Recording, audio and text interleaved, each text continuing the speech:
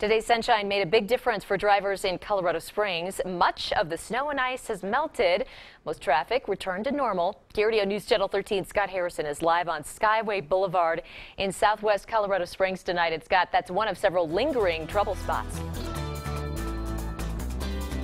Well, Heather, here on Skyway Boulevard on the southwest side of town, this is a street, Skyway Boulevard, that's bigger than a side street, but smaller than a major street. And it's this type of a street that city crews were still trying to get clear today. And you can see how snowpacked this one still is.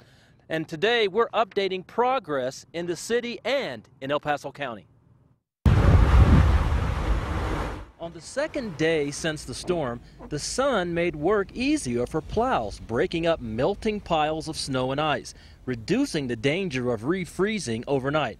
We found mixed reaction to the performance of local crews over the weekend. All I have to do is get on the freeway and get off, so I, I wasn't running around on the side streets or anything. The highway was pretty good. I mean, you go slow and it was fine. The road crew didn't do very good for any of the other streets. The uh, main streets, they're pretty slushy on the sides, so it's pretty hard going. Crew supervisors say near zero temperatures made their storm response more challenging. It just takes a little longer for those deicers to uh, activate and start working. Uh, so it tends to be a little bit of a waiting game. We do have to increase our application rates uh, to try and get the uh, snowpack and ice to break. Once that happens, plowing becomes much more effective. Although most of the streets in Colorado Springs are clear by now, you may find things a bit sloppy if you try to park downtown. Lots of slush and dirty slush at that. So just bear that in mind.